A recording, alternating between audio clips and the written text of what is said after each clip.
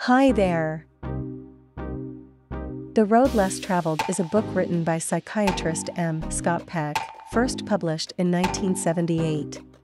It is a self help book that focuses on personal growth and spirituality. One of the key themes of the book is the importance of mental sobriety. Mental sobriety refers to the ability to think clearly, objectively, and rationally. It is the opposite of being mentally unstable or irrational. According to Peck, mental sobriety is a prerequisite for personal growth and spiritual development. Peck argues that mental sobriety is difficult to achieve because it requires the ability to face reality, even when it is uncomfortable or unpleasant.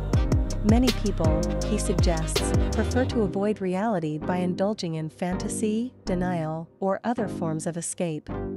However, this ultimately leads to a lack of fulfillment and personal growth.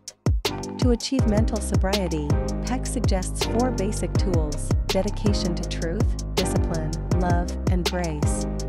Dedication to truth means being willing to face reality, even when it is painful or difficult. Discipline means developing the habit of doing what needs to be done, even when you don't feel like it.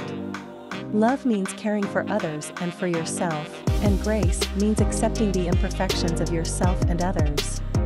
Overall, The Road Less Traveled is a book that encourages personal growth and spiritual development through the cultivation of mental sobriety.